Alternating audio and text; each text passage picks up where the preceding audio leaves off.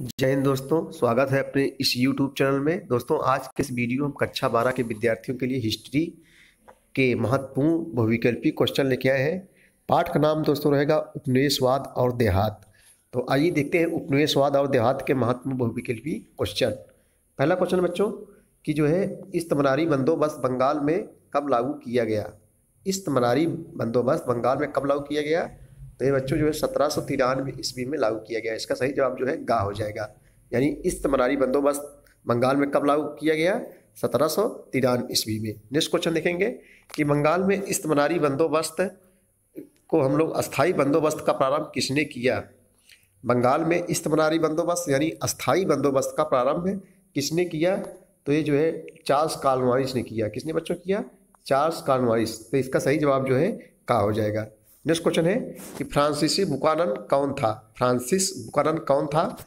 तो फ्रांसीसी बुकानन एक चिकित्सक था बच्चों। कौन था? एक चिकित्सक था। नेक्स्ट क्वेश्चन है, संथाल विद्रोह कब हुआ था? यानी जो है, संथाल विद्रोह कब हुआ था? अठारह सौ पचपन, अठारह सौ तिरपन चौवन में, अठारह सौ पचपन छप्पन में, अठारह सौ सत्तावन, अठारह सौ अट्ठावन में, अठारह सौ पचास से अठारह सौ अट्ठावन ईस्वी में। तो जो, ये जो संथाल विद्रोह हुआ था, ये जो है, अठारह सौ पचपन से अठारह सौ छप्पन ईस्वी के बीच में हुआ था। नेक्स्ट क्वेश्चन देखेंगे हम लोग। अगला क्वेश्चन है भैया, कि संथाल विद्रोह के दौरान कितने संथाल मारे गए? संथाल विद्रोह के दौरान कितने संथाल मारे गए? तो संथाल विद्रोह के दौरान पंद्रह हज़ार से अधिक मारे गए। यानी संथाल विद्रोह के दौरान कितने संथाल मारे गए? पंद्रह हज़ार से अधिक संथाल मारे गए। नेक्स्ट है, कि दक्कन विद्रोह कब हुआ था? दक्कन विद्रोह दक्कन विद्रोह कब हुआ था?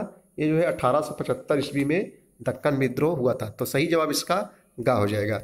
नेक्स्ट क्वेश्चन भैया, कि जो है रैयतवाड़ी व्यवस्था इनमें से कहाँ लागू की गई? रैयतवाड़ी व्यवस्था कहाँ लागू की गई? बम्बई, मद्रास, असम, ये सभी।